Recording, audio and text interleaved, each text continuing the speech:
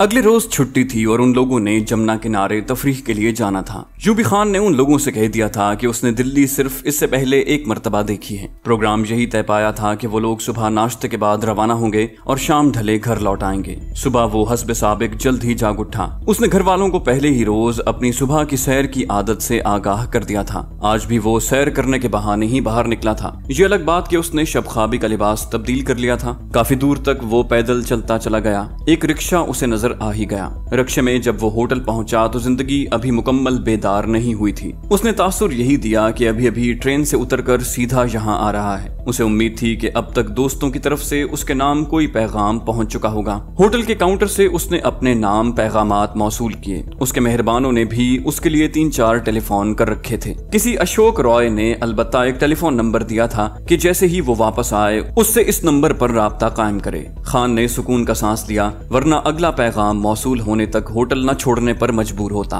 Counter पर ही उसने checkout किया और अपने कमरे का एक चक्कर लगाकर बाहर आ गया। काउंटर क्लर्क से हिसाब बेबाक करके उसने रसीद हासिल की और खुदा का शुक्र अदा करता हुआ बाहर निकल आया। जब वो रिक्शे पर भागम भाग घर पहुँचा था तो घर वाले नाश्ते की तैयारियाँ कर रहे थे। उनके इल्म में लाए बगैर चुपचाप वो अपने कमरे में पहुँचा। अभी तक किसी ने उसे वापस आते नहीं देखा था। दोबारा उसने शबखाबी का लिबास पहना और उन्हें सुबह खैर कहता हुआ गुसल खाने में चला गया। नहाकर बाहर निकला तो उसकी तबीयत खासी खुल रही थी। आज हसब मामूल उसने शेव नहीं की थी। ये बात उसे सबसे पहले रमा ही ने याद दिलाई। खान बोला, बस जरा रोमांटिक नज़र आने के चक्कर में हूँ। उसने एक आँख दबाई। रमा जानती थी कि ज़्यादातर हिंदू नौजवान लड़कों में छोटी छोटी दाढ़ी रखने का फ़ैशन रिवाज पा रहा है, और अरुण कुमार भी आखिर एक हिंदू नौजवान था। वो फ़ैशन से मुतासर हुए बगैर कैसे रह सकता था? दूसरी तरफ़ खान के लिए अब हुलिया बदलना ज़रूरी हो गया था। नाश्ता सबने इकट्ठे किया। सुशील अपनी माँ के साथ रसोई में मसरूफ थी। खान बाज़ार से पिकनिक पर साथ ले जाने के लिए एक दो चीज़ें खरीदने के चक्कर में बाहर निकल गया। करीबी स्टोर से उसने सुशील के बच्चों के लिए स्वीट्स और बिस्किट वगैरह खरीदे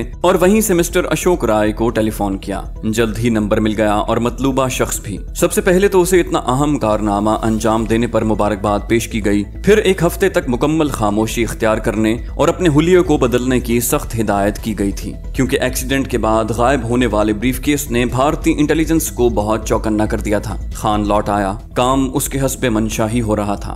उसकी वापसी पर रजनी भी घर पहुँच चुकी थी। फिर खान के बार बार कहने पर रजनी भी उन लोगों के साथ जाने के लिए तैयार हो गई। उसने इस बात का बखूबी अंदाज़ा लगा लिया था कि रजनी से उसकी बेतकल्लुफी पर रमा बिल्कुल बुरा नहीं मानती। या तो रमा को अपनी जात पर बेहद एतमाद था, या फिर खान से अपनी मोहब्बत पर। एक बात बहरहाल थी कि उसे ये लड़की दूसरी हिंदू लड़कियों से बिल्कुल मुख्तलिफ़ नज़र आई थी। जमुना के किनारे ही एक खूबसूरत मकाम उन लोगों ने अपनी तफरी के लिए मुंतखब किया था और भी बहुत से लोग पिकनिक मनाने यहाँ आए हुए थे। शाम तक का वक्त उसने बाहिर उन लोगों के साथ हँसी मज़ाक में गुजारा था। लेकिन इस दौरान एक लम्हे के लिए भी वो अपने दिमाग से इस नापाक मंसूबे की तफसीलात नहीं उतार सका था, जिसका इल्म उसे मल्होत्रा से छीने गए कागजात से हासिल हुआ था। वो सोच रहा था, क्या उसके मासूम बंगाली भाई मक्कारी के इस चाल से बच सकेंगे, जो भारत सरकार उन पर फेंकने जा रही है। अब तक उसने हिंदुओं के मुतालिक महज पढ़ा और सुना था, मगर आज इस माशरे में रहते हुए इन लोगों को नज़दीक से देखने के बाद बाहिर उसे इस सवाल का जवाब ना ही में मिलता था। लेकिन उसका दिल इस ना को मानने के लिए तैयार नहीं था। वो तो ये कभी सोच भी नहीं सकता था कि उसके मुल्क का एक बाजू कट कर ही रह जाएगा। लेकिन अखबार और दीगर जराए से उस तक जो खबरें पहुँच रही थी, और फिर उसके इल्म में इंटेलिजेंस का जो नापाक मंसूबा आ चुका था, उसके बाद उसे ये बात आखिर सच होती नज़र आ रही थी। उसका जी चाहता था उड़कर अपने पूर्वी पाकिस्तान चला जाए और अपने बंगाली भाइयों को चीख चीख कर बताए कि दुश्मन कयामत की चाल चल गया है। वो चाहता था जैसे भी मुमकिन हो अपने सीधे साधे भोले भाले बंगाली भाइयों को दुश्मन के चुंगल में फंसने से बचा ले।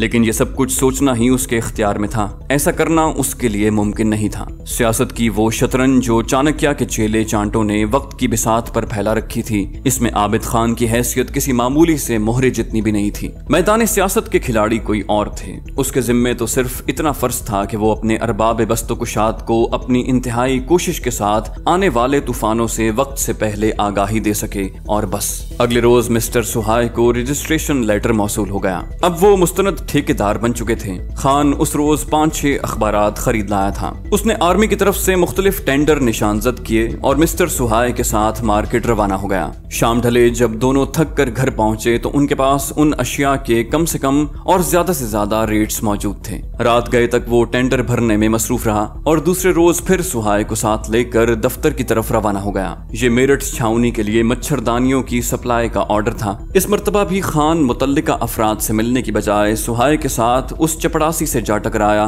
जिसके ज़रिए उन्होंने पहला काम निकलवाया था। उन्हें देखते ही चपरासी मुस्कुराने लगा। आइए महाराज, आइए। खान ने बड़ी बेतकल्लुफी से उसके कंधे पर हाथ मारते हुए कहा, मेरे ख्याल से थोड़ी देर के लिए छुट्टी ले लो इतमान से बात करते हैं। चपड़ासी ने बड़ी अजीब सी नज़रों से खान की तरफ़ देखा। उसने दोनों को उसी होटल के कैबिन में बैठकर इंतज़ार करने को कहा। इस मरतबा भी सुहाय खामोश तमाशाई बना रहा। उसे अरुण कुमार की सलाहियतों पर एतमाद था और वो जान गया था कि इस नौजवान में कुछ ऐसी पोशीदा शक्ति ज़रूर मौजूद है कि जिस काम का ये बीड़ा उठाए, उसे पूरा कर लेता है। दोपहर के खाने पर वो पहुँच गया। खान ने इस मरतबा भी उसके लिए लंबा चौड़ा ऑर्डर दिया था। खाने के दौरान ही उसने अपना मुद्दा बयान कर दिया और चपरासी से दरखास्त की कि वो मुतल आदमी तक जिसके ज़रिए ये ऑर्डर मौसू हो सकता है, उन तक रहनुमाई कर दे। चपड़ासी की बातें खिली जा रही थी। ऐसा शानदार खाना तो उसने अपनी शादी पर भी नहीं खाया था। अरे साहब, फ़िक्र न कीजिए। बात भी करवा दूँगा। सूबेदार साहब अपने खास आदमी हैं। कल सुबह दस बजे आ जाइए। उसने खान को एक दूसरे दफ्तर का एड्रेस समझाते हुए कहा। दमे रुखसत खान ने बच्चों की मिठाई के लिए उसकी जेब में ज़बरदस्ती सौ रुपए डाल दिए। सुहाय तो उस पर हैरान हुआ जा रहा था। घर पहुँचने तक उसने खान को इतनी बेशुमार दुआएँ दे डाली थी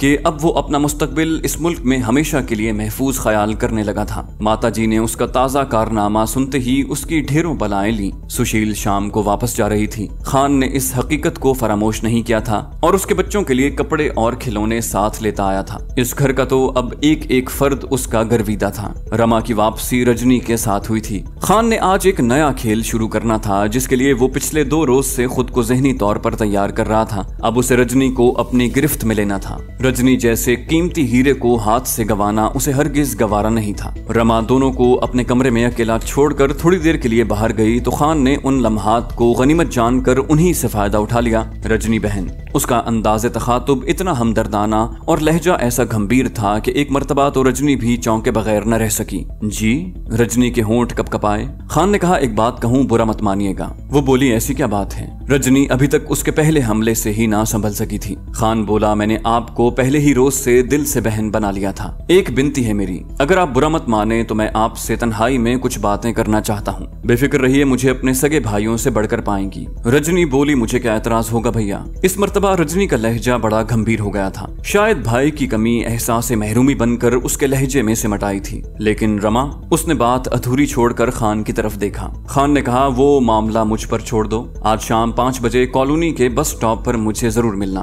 खान ने बड़े मज़बूत लहजे में कहा। वो बोली, ठीक है। और साथ ही वो गहरी सोचों में गुम हो गई कि तन्हाई में मुझसे वो आखिर क्या बातें करना चाहता है। इस गुफ्तगु से उसे कुछ उलझन सी होने लगी थी और अब वो खान से नज़रें भी नहीं मिला पा रही थी। उसकी मुश्किल रमा की आमद ने बहरहाल आसान कर दी, जो हाथों में चाय की ट्रे उठाए अंदर दाखिल हो रही थी। चाय पीने के दौरान रमा और खान तो हंस हंस कर बातें कर रहे थे, लेकिन रजनी कुछ उलझी उलझी सी नज़र आ रही थी। उसकी तबीयत की इस अचानक तब्दीली को रमा ने भी महसूस किया। उसने पूछा भी, लेकिन रजनी हंसकर बात टाल गई। चाय पीने के थोड़ी देर बाद ही रजनी ने एक ज़रूरी काम का बहाना करके उन लोगों से रुखसती की इजाज़त ले ली। रमा उसे दरवाजे तक छोड़ने आई थी। वापसी पर वो रजनी के लिए खास हमदर्दी महसूस कर रही थी। मालूम नहीं उसे अचानक कभी कभी क्या हो जाता है। उसने सर्द आह भर कर खान से कहा। खान ने कहा, महरूमिया बंदे को कभी चैन से जीने नहीं देती। काश इसका कोई भाई होता। खान ने भी हमदर्दी जगाई। सच्ची बात तो ये है कि रजनी तुम्हारी दोस्त है। हमें कोशिश करनी चाहिए कि इसे किसी भी तौर खुश रख सकें।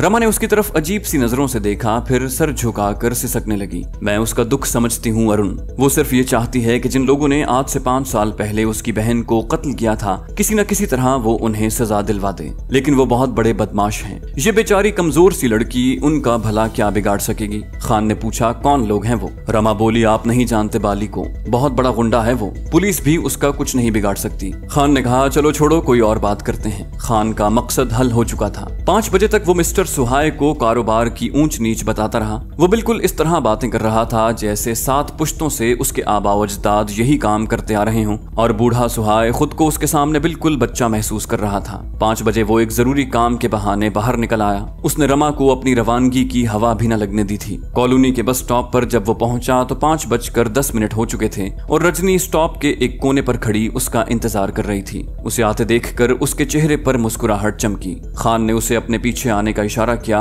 और थोड़ी देर बाद वो दोनों कॉलोनी से कुछ फासले पर एक छोटी सी बार में बैठे मसरूफे गुफ्तगू थे। रजनी, असल में तुम्हारी तरह मैं भी एक दुखी इंसान हूँ। जुल्म हम दोनों के साथ हुआ है, लेकिन उसकी नौयत मुख्तलिफ़ थी। मुझे समझ नहीं आती आखिर तुम अच्छी भली आर्टिस्ट हो। ये किस चक्कर में पड़ गई हो तुम? वो बोली, भैया, अव्वल तो मेरी ज़िंदगी में तुम वाहिद ऐसे नौजवान आए हो जिसने मुझे बहन कहा है। मुझे तो तुम हिंदू लगते ही नहीं। रजनी ने गो के ये बात रवानी में कह दी थी, लेकिन खान की रीढ़ की हड्डी में एक सर्द लहर दौड़ गई। उसे ज़बरदस्त जहनी झटका लगा। ये अलग बात कि उसका चेहरा बिल्कुल सपाट रहा। वो बोली, मुझे इल्म है कि मैं एक कमज़ोर लड़की हूँ, लेकिन मैं इन गुंडों को नहीं छोड़ूँगी। खां मेरी जान ही चली जाए। खान ने कहा, अब तुम्हें ये सोचने की ज़रूरत नहीं। वाकई मैं दूसरे नौजवानों से मुख्तलिफ़ हूँ, लेकिन मेरे साथ भी ये महरूमी लगी हुई है कि मेरी भी कोई बहन नहीं है। न जाने तुम्हारा दुख जानकर क्यों मेरा दिल भर आया? रजनी वक्त ने एक एहसान मुझ पर ज़रूर किया है कि मुझे कनौती की बजाय अमली इंसान बना दिया है। तुम्हें बहन कहा है तो इस पर अमल करके भी दिखाऊँगा। आज से तुम्हारे और मेरे दुख मुश्तरक हैं। मैं सिर्फ़ दो दिन में इस बात का सबूत दे दूँगा।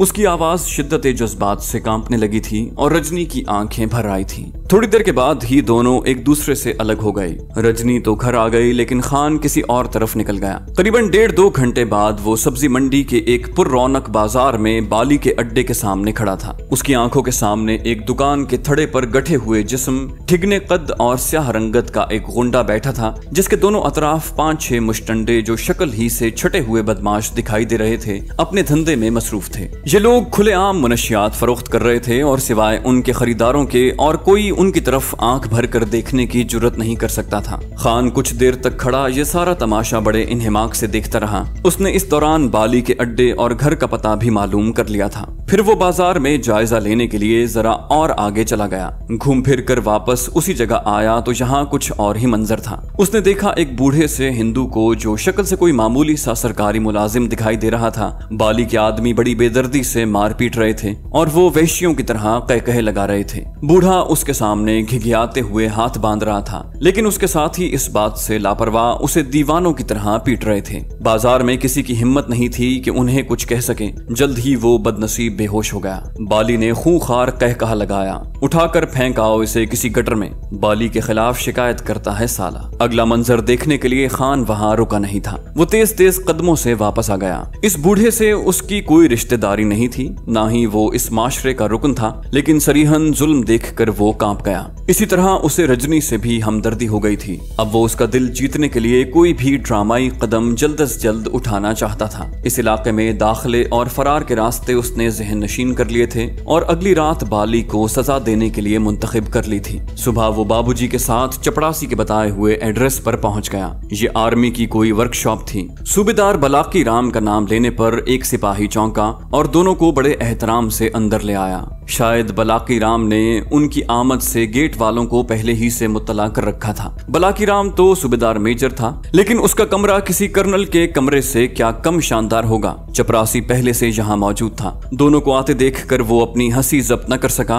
लेकिन बलाकी राम का चेहरा जज्बात से आरी था। चपरासी ने दोनों का तारुफ करवाया और बताया कि बाबूजी बेचारे रिटायरमेंट के बाद हाल ही में ठेकेदारी से मुंसलिक हुए हैं। उसने सूबेदार से दरखास्त की कि वो उनका हाथ पकड़ ले और नैया पार लगाते। थोड़ी सी तगो दौ के बाद मीरठ छावनी के लिए 500 मच्छरदानियाँ सप्लाई करने का ठेका Suhay Kumar general order suppliers को मिल गया। सूबेदार बलाकी राम ने उनके साथ इंतहाई शराफत और खुदा खौफी का मुजाहरा करते हुए उनसे 25 फ़ीसद कमीशन तलब किया था। खान ने आधी कमीशन एडवांस उसे वहीं थमा दी और आधी बिल वसूल होने पर अदा करने का वादा किया था। घर वापसी पर दोनों मिठाई की एक टोकरी साथ ले आए थे। इस सौदे में कमीशन दे दिलाकर भी उन्हें कम अज कम पाँच हज़ार रूपए का मुनाफा होने वाला था। खान ने चपरासी को सौ रुपया पेशगी इनाम भी दे दिया था। पहला ही कामयाब सौदा तय होने का इस छोटे से घराने में शानदार जश्न मनाया गया। वो लोग खुशी से बाउले हुए जा रहे रहे थे। किशोर और आशा ने तो अभी से बड़े बड़े ख्वाब देखने शुरू कर दिए थे। खान को खुशी थी तो सिर्फ़ इतनी कि इस तरह उसकी रसाई कम अज कम मीरठ छावनी तक तो हुई। एक तरफ़ कुदरत ने अगर भारत की सबसे बड़ी इंटेलिजेंस एजेंसी रॉ पर नकब लगाने के लिए उसे रजनी जैसी बहन दे दी थी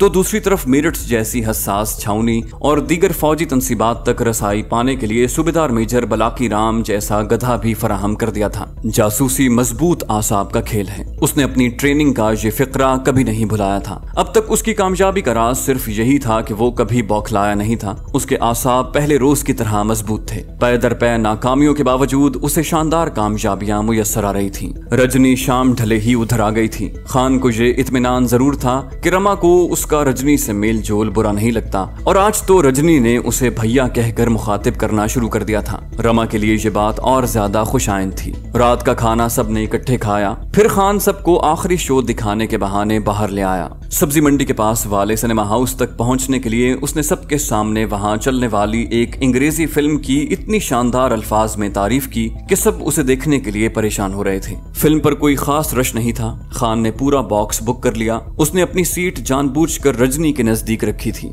फ़िल्म मुकर्रा वक्त पर शुरू हो गई। करीबन दस बजे उसने रजनी की तरफ़ झुकते हुए उसके कान में सरगोशी की, मुझे आशीर्वाद दो बहन। रजनी थर्रा कर ही तो रह गई। उसे समझ नहीं आ रही थी कि वो क्या कर गुजरेगा। एक्सक्यूज मी खान ने रमा से भी सरसरी तौर पर माजरत की और आहिस्तगी से दरवाज़ा बंद करता हुआ बाहर निकल गया। उसे यकीन था कि सिनेमा के कम अज कम किसी मुलाजिम को उसके बाहर निकलने की कानो कान खबर नहीं हुई। बमुश्किल दस मिनट बाद ही वो बाली के डेरे के बाहर मंडला रहा था। खान मकान की पुश्त पर पहुँच गया। उसने दीवार फांदने से पहले अपना मुँह मफलर से अच्छी तरह ढांप लिया था और अपनी जेब से पीतल का वो पंजा जो उसने सुबह ही खरीदा था, निकाल कर दाएँ हाथ में पहन लिया था। ये बात उसके लिए बड़ी खुशगवार हैरत का बायस थी कि अभी तक यहाँ किसी की मौजूदगी के आसार नहीं आ रहे थे। बिल्ली की तरह दबे कदमों वो बिलाखिर एक कमरे में किसी की मौजूदगी के आसार पाकर दाखिल हो गया। लाइट जल रही थी और उसके बिल्कुल सामने बाली शराब की बोतल मुँह से लगाए बैठा था। उसके पहलू में एक फाहिशा मौजूद थी। खान की अचानक आमद ने दोनों को चौंका दिया।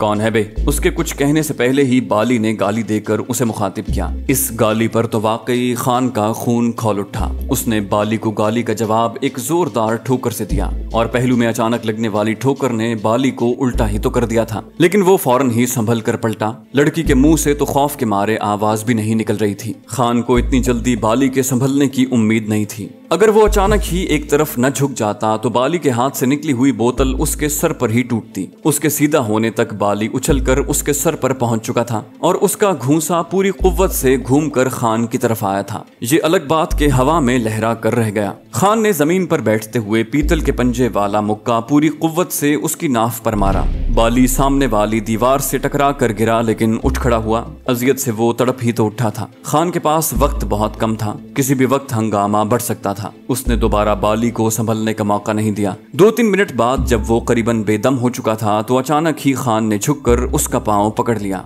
बाली के पाँव को इतना शदीद झटका शायद ज़िंदगी में पहली मरतबा लगा था। उसकी चीख इतनी दर्दनाक थी कि लड़की सहम कर रह गई, और लाशौरी तौर पर उसके मुँह से भी हल्की सी चीख निकली। दोबारा अगर तुम्हारे गले से कोई आवाज़ निकली तो गला घोंट कर मार डालूँगा। खान उसकी तरफ़ देख कर गुर्राया। बाली चीख मार कर बेहोश हो चुका था। खान ने झुककर उसके बेदम वजूद को हाथों में तोला और झटके से उसे कांधे पर लाद लिया। मेरे साथी इस इमारत में मौजूद हैं। अगर सुबह होने से पहले तुमने यहाँ से भागने की कोशिश की या पुलिस को कुछ बताया तो याद रखना, जो लोग बाली जैसे गुंडों को सजा दे सकते हैं, तुम्हारी हैसियत उनके नज़दीक कुछ भी नहीं। खान नीम बरहना लड़की की तरफ़ देख कर दोबारा गुर्राया। लड़की बोली, परमात्मा के लिए मुझे जाने दो। ये हरामी, मुझे ज़बरदस्ती यहाँ उठा लाया था। मैं तो इस बात से खुश हूँ, मैं किसी को क्यों बताऊँगी भला? लड़की हाथ बाँध कर उसके सामने खड़ी हो गई। खान ने नज़रें झुका ली। कपड़े पहनो और चली जाओ उसने आहिस्ता से लड़की से कहा और बाली को कंधों पर उठाए बाहर निकल आया। बरामदे में लगा बल्ब का बटन उसने ऑफ़ कर दिया था।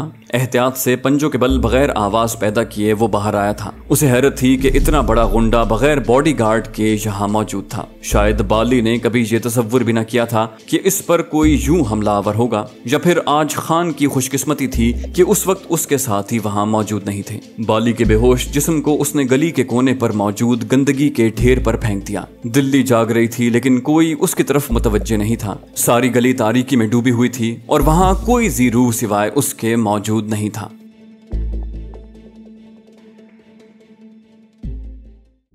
दोस्तों, ये थी हमारी आज की एपिसोड उम्मीद करते हैं आपको हमारी कहानी पसंद आई होगी। जाने से पहले इस वीडियो को लाइक कीजिए और शेयर करना मत भूलिए। कमेंट करके हमें बताइए कि आपको हमारी वीडियो कैसी लगी। और अगर अभी तक आपने इस चैनल को सब्सक्राइब नहीं किया तो इसे सब्सक्राइब कीजिए और बेल आइकन दबाकर ऑल नोटिफिकेशंस ऑन कर लीजिए।